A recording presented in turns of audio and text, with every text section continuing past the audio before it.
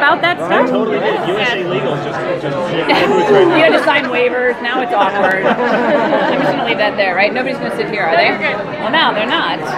Um, hi guys. Hey, How's it going? Hi, you got pineapples. Did they give up pineapples in the panel? we. No? Yes? Yes? Okay, we don't get swag. It's all good. How are you guys? Yeah? Okay, good. So you get a, like a long day in here? A little bit, yeah. little bit? Let's make it even more boring. No. Um, so yeah, hi, here we are, back at uh, back at Comic Con. So what can you tell us about where Vic is four or five years later? Is it four? But no, we're gonna say it's three. Say. I'm like, has it been four years? Like, no, but it's just been three. So it's still it's still pretty bad. It's been a while. Um, Chief is Chief the chief of San Francisco PD now. Um, obviously, when I took that job at the end of season eight, I brought Juliet with me, and she's now my head detective. She's my number. She's my number one. Um, that, but San Francisco is a much larger city. It's a much larger police force now that I have to oversee. So there was restructuring. There was you know, coming in as a boss of a new job, especially when you weren't internal, like an internal promotion at all. So there was, you know, some growing pains. But um, she's got a new partner, and they're fantastic. Sam Worthington, who's her, who's playing her new partner, hysterical. He was so good, and um, with my luck, his, his last name better be Worthington. Because now it's going to be like Sam Pennington, and now he's a you know member of Game of Thrones or something. Um, he's wonderful, and he was so game to play with us, and he was such a welcome addition. Um, but a lot of fun. All the guest stars that came in, um, some of them had never seen the show before. I think uh, Richard, or no, Robert. Robert never saw Lusardo. He played like the big baddie. I don't know if anybody was in the panel downstairs. He plays El Providor. Um, he was just like, so I've never seen it seen, we're like, don't worry about it. Just know this is a wonderful place to be.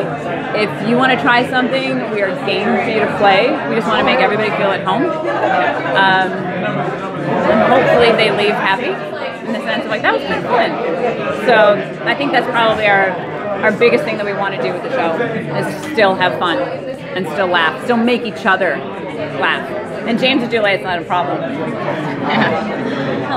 Just watch them. It's an interesting joke, Mr. Spencer. So I'll probably slide that into my next next script.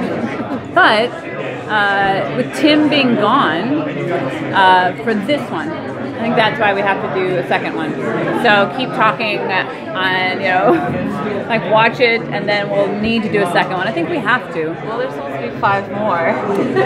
Yes, there is. I was like, Steve, why don't we do eight? Because we were on for eight seasons, so let's just do eight movies, right? Like a nice round number. We'll all be in wheelchairs, but if we're still going, that you know, Mr. Spencer, hold up, here I come. Um, that Tim needs to be back in the fold with us. He's in this movie, is absolutely making that happen. We just wanted to make sure that he was 100% or as close to 100% as you know he was ready to be. Um, didn't want to rush anything. He needed to be there, but uh, we did work it out. Obviously, for him to be there and. When we were shooting that stuff, and obviously this won't be any spoilers, but when we were shooting what he was going to be, what he is going to be a part of, um, there's only one actor that was really involved with that, but the rest of the cast was off.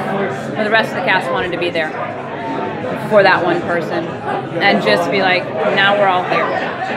Now we're all here in spirit, and um, and now our sixth sixtum is together again. So, uh, so but we got to do a second one, so he's on screen with us throughout the film, not just for one scene. You know, like throughout. throughout. Were you guys able to make any type of a cast pilgrimage to go see him in person? I know it's it's, it's an intense recovery. It is an intense recovery, and we're in groups. So, like, you know, these three go now, or that person can go next Saturday, or these two can go. Um, and it's a little easier to handle besides, you know, especially you don't want to take too much time away from rehab. You know, it's like, but he is amazing, and he's so, like, kicking the shit out of us. So, yeah. it's a good thing. It's a good thing. That's Chief. That's the Chief. Will we see some more of her personal life? Or What? Oh. Yes, the um, I, we were talking about it in the panel, and I was thinking about this. Uh, yes, we do. That when, and obviously the script, the script needed to make some changes once um, once Tim happened, uh, and but there was stuff that was already in place. There was just minor adjustments we had to make. So Steve and James they took these characters in like they made them even more well-rounded. They're more three-dimensional than they were for what eight years you know? Um, so we do get to see a different side of the chief that i hadn't seen you know even then. Um, that makes me want to come back. I think all of us said it like even talking with maggie she's like i never got to have this kind of conversation. And like you're right we never did. This is so they were thinking and it's not just doing the same stuff over and over again. There's stuff for the fans that is wonderful but i think the fans will even like where the characters go in the end to keep it going because you have to breathe new life. You're not going to put like a baby or a dog into the mix to like breathe new life into the sitcom you better you better flesh out these characters and they did so it's exciting it's exciting it's fun You're feeling there's no baby or dog. I've given too much away. like, where's Stevie's gonna let me? Oh, dang it. Uh, yes, there's no puppy, even though Maggie probably wanted to bring her dog to the set uh, with her foundation. So, no baby, no dog. I know, spoilers. Those are big spoilers. Yeah, breaking news. So, don't tweet that out.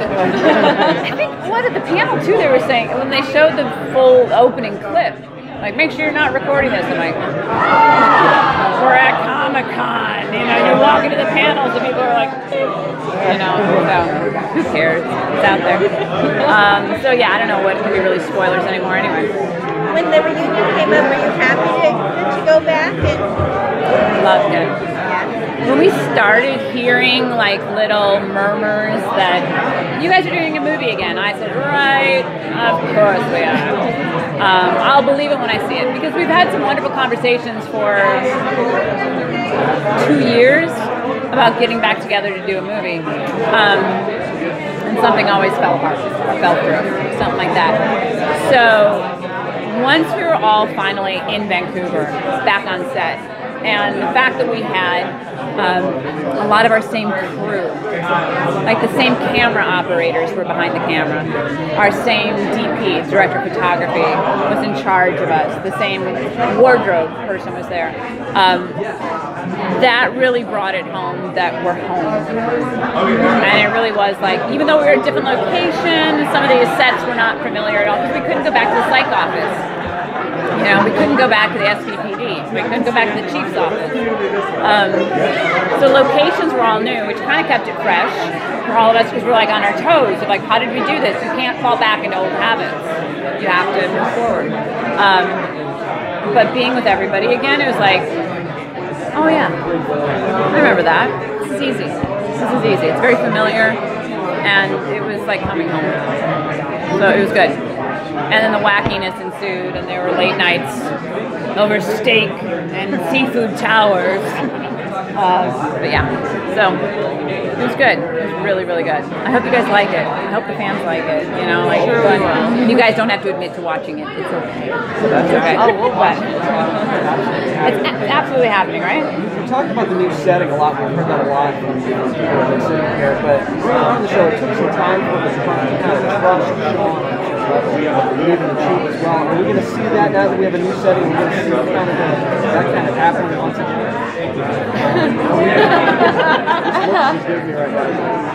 That's a, that's an interesting question, isn't it? Um, spoiler. Uh, I probably could tell you that Sean has taken this case on his own. So this is a case that he's working on, a- and it kind of involves the SFPD, but it is not an SFPD sanctioned case. And uh, we all kind of get a little tangled into his world. Um, and and I know that they've sent out that first look picture of all of us. You know, oh, it's nighttime. We're very dramatic. We're on the docks. We're in peril. I was like, what am I doing with my hands? Like, why am I doing this? Um, but when we come together as a group, they'll we have each other's backs. It didn't matter whose case it was or who's involved with it. Now you mess with one of us, you mess with all of us, and that's where Zach Levi does not know our strength. So that's what's happening there. Yeah. Oh, look at there. There she is. Thank you, thank you, thank you so much.